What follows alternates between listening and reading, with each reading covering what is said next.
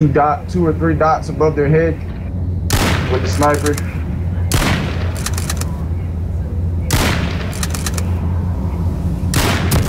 I don't like the, I don't even fuck with it too much.